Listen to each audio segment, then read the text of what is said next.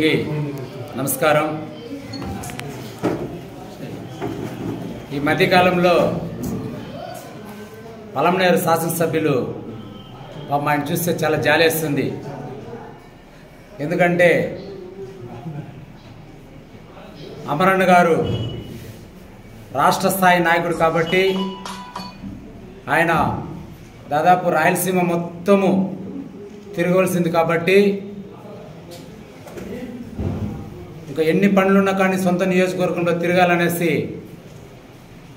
చాలా పనులున్నాయి. అయినప్పటికీ కూడా మనము స్థానికంగా మనం ఉండాలి ప్రజల్లో తిరగాలి అనే ఉద్దేశంతో అమరన్న గారు ఎన్ని పనులున్న వదులుకొని వికోట ప్రాంతం నుంచి తిరిగి ప్రతి ఇంటికి వెళ్ళాలనే ఉద్దేశంతో అమరన్న గారు ఈ యొక్క కార్యక్రమాన్ని స్టార్ట్ చేస్తున్నారో లేదో పాపం ఎమ్మెల్యే గారికి ఏం చేయాలో దిక్కు తెలియకుండా ఏం మాట్లాడుతూ ఉన్నారో కూడా అర్థం కావట్లే. ఏమేమో మాట్లాడుతూ ఉన్నారు అసలు. అసలు నాకు డౌట్గా ఉంది. ఆయన ఇక్కడ వికోటల మండలంలో పుట్టి పెరిగినారా లేకపోతే ఎక్కడైనా అమెరికాలోనో లేకపోతే స్విట్జర్లాండ్లో ఎక్కడ పుట్టినారో అర్థం కావట్లే.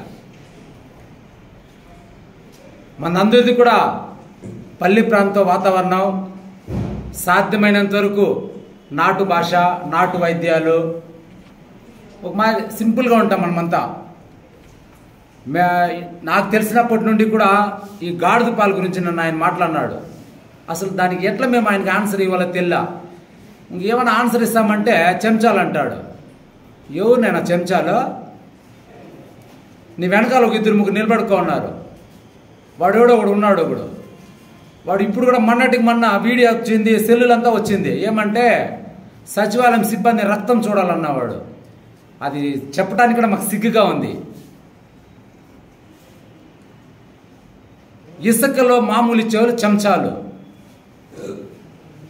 ఇంక చెంచాలు కథ వదిలేండి ఊరికే అది మీరు మీ అది మీకే అది మీ మీకే అది హ్యాండ్వర్ చేస్తున్నాం చెంచాలు ఎవరు అనేది మీరు తెలుసుకోండి.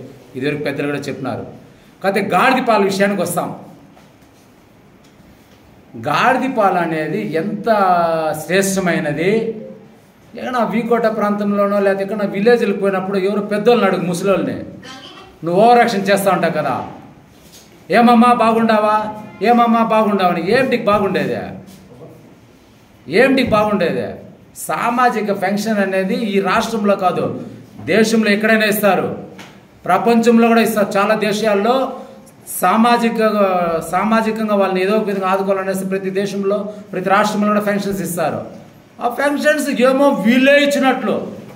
వీళ్ళేదో పెద్దగా ఇచ్చేసినట్టు ఓహో అంటా ఉన్నాడు. ఆ ముసలోళ్ళు అడిగి చెప్తారు గాడిది పాల గురించి. మన్నటికి మొన్న మీ సాక్షి టీవీ ఒకటి ఉంది బోగస్ టీవీ. ఆ సాక్షి టీవీలో చూపించినారు. ఏమని? గాడిది పాలు ఎంత శ్రేష్టమైంది.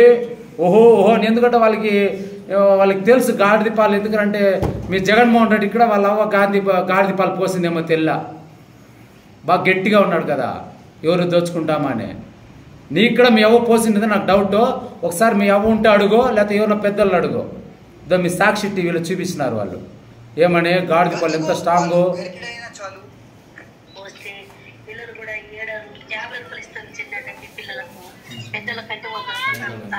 అయితే రోజు ఉదయం పలువురు గల్లీలో తిరుగుతూ గాడిద పాలు విక్రయిస్తున్నారు.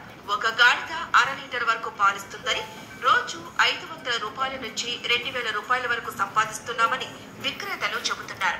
ఒక్క గాడిద ధర ఇరవై వేల రూపాయల నుంచి ముప్పై వేల వరకు పలుకుతుందని చెబుతున్నారు.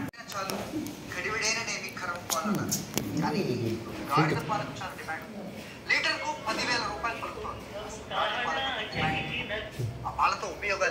తెలుసుకో. నాది విజ్ఞప్తి ఎమ్మెల్యే గారికి. నీ దగ్గర కొంతమంది చెంచాలు ఉన్నారు నీకు చిల్లర తెచ్చేసే చెంచాలు.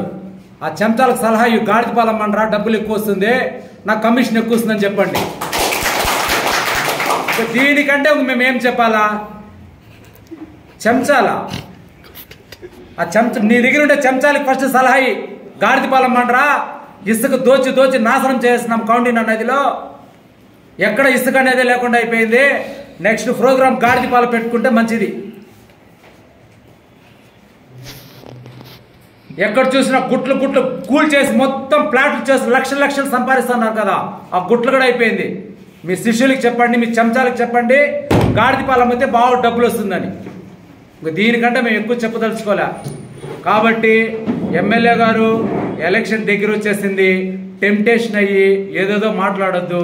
ఎందుకంటే ప్రజలంతా సిద్ధంగా ఉన్నారు. నీకు బుద్ధి చెప్పేదానికి. చెంచాలు అది ఇది అంత మాట్లాడొద్దు. గాడిద పాలు అదేమో చెప్పినారు ఇంతసేపు సాక్షి టీవీలోనే. ఒక గెరిటైనా చాలు. ఆరోగ్యంగా ఉండేదానికి. అవసరమైతే మళ్ళీ గాడిద పాలు తెప్పించుకొని కొంచెం తాగు కొంచెము ఏం మాట్లాడాలన్నా తెలుస్తుంది. కాబట్టి ఇంకోసారి ఇట్లా లేనిపోని చవాక వాకులు చేస్తే ఖచ్చితంగా బుద్ధి చెప్తాం తెలుగుదేశం పార్టీ తరఫున అది వదిలేసి ఆ వంట అమరాన్నే మాట్లాడాలంట. నీ స్థాయి ఎక్కడ? అమరాన్న స్థాయి ఎక్కడ? అమరాన్ ఒక లెవెల్. నువ్వు ఆ లెవెల్ కాదు. నువ్వు సరిపో. మాకే ఎక్కువ. అయినాక నువ్వు ఎమ్మెల్యే కాబట్టి నీ గౌరవం ఇచ్చి మాట్లాడుతున్నాము అందరికీ నమస్తే.